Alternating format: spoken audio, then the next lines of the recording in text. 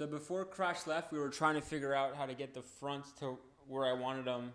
Um, what was limiting what was limiting us was the lower mounting bracket for uh, for the coilover, and it was um, it just wasn't giving the drop that I was looking for. So we flipped it, and that was perfect.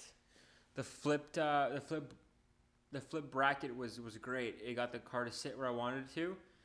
But considering that those the upper slot is slotted, it, it threw the camber just totally fucky.